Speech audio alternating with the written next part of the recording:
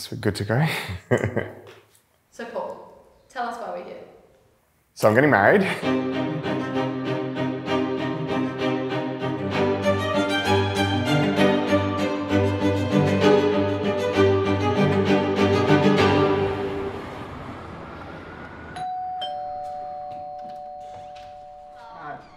No! So I've actually created three dresses for Anna.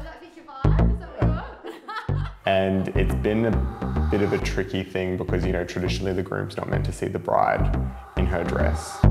Ooh, eyes I can see you keeping me wavy. When I work with clients, I'm so much about creating a mood and a feeling, but because I know her so well, it's almost harder because how do you put everything into one dress? I got blood on the dress. It's meant to be good luck actually. So I think that's why we've gone with three completely different looks and be able to capture three completely different moments and parts of her and also things that I love doing.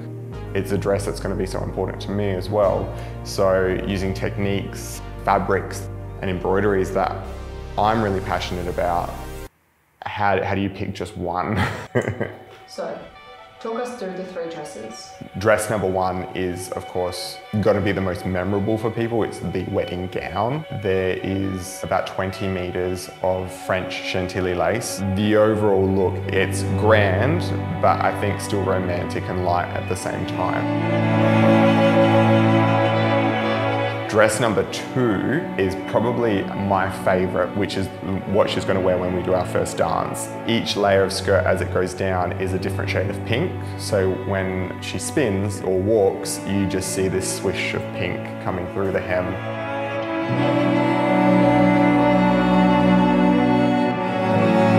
The third dress is all crystal. It's super sleek. I think that's Anna's favorite. She's going to put this gown on at about 10 o'clock at night. All the lights that hit those crystals are just going to sparkle.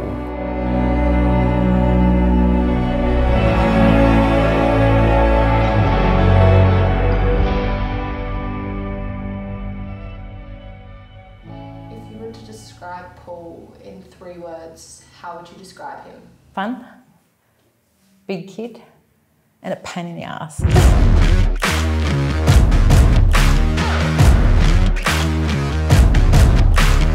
Lisa's been working here for nine years now. Nine wonderful years. Mm. Joyful.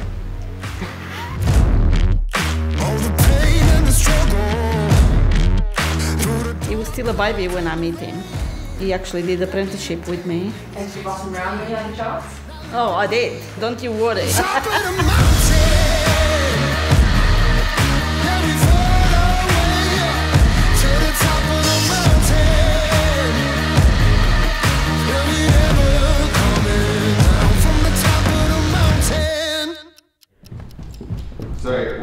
go see my daughter now because I want her to do some work on Anna's dress. That is a Paolo. Paolo when I was small. So she taught me to sew originally. She wasn't like a professional seamstress, she just was her passion. When I cook a, a, a Paolo, he said to me, Nonna, you cook very well. My mother not cook like you. Too long.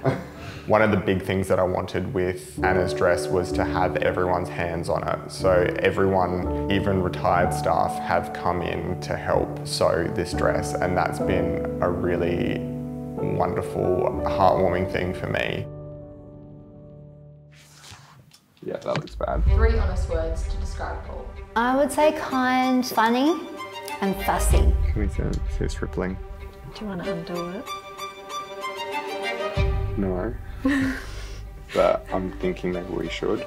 It is fast approaching and there's a lot to do. Apart from hers, it's also the bridesmaids, our mums, flower girls. Everyone that works here is making their own gown as well. we hope that it's finished tonight. If it's not, Paul has to finish the rest tomorrow.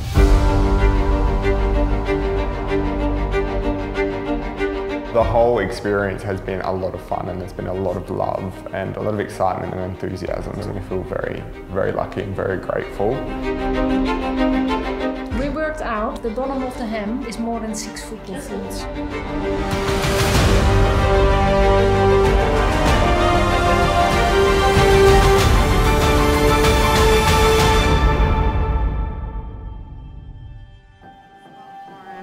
I'm ready. I know, who gets this sort of treatment? In the heart of every moment, there's a magic hour.